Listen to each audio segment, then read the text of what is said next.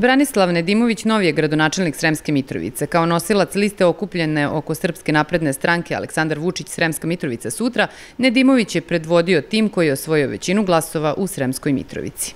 Što bi veliki Čerčil rekao, mogu samo da obećam krv, suza i znoj i rad. Ja za drugo ne znam, ovaj grad volim najviše na svetu i spreman sam sa Danicom i sa ostalim saradnicima da radimo neprekidno kako bi svim građanima u Sremskoj Mitrovici bilo bolje. Ja sam malo prije na skupštinskoj raspravi rekao pružam ruku svima. I opoziciji, i onima koji misle drugačije, to je potpuno normalno.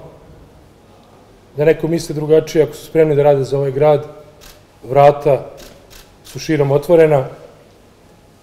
Mi smo ostvarili najveću pobedu ikad sa 62% i želim da se zahvalim svim ljudima koji su glasali za nas, a ovi što su bile u kratkotrenoj zabude pa nisu glasali za nas, njima da obećavam da ćemo raditi puno i da ćemo ih zamoliti da svi zajedno učinimo Mitrovicu velikom i da bude brend Srbije.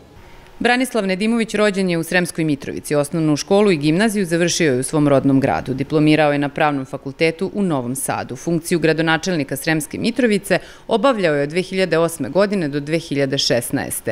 Ministar poljoprivrede i zaštite životne sredine postao je 2016. godine i na toj funkciji bio je do kraja 2022. nakon čega je postao potpredsednik Futbalskog saveza Srbije.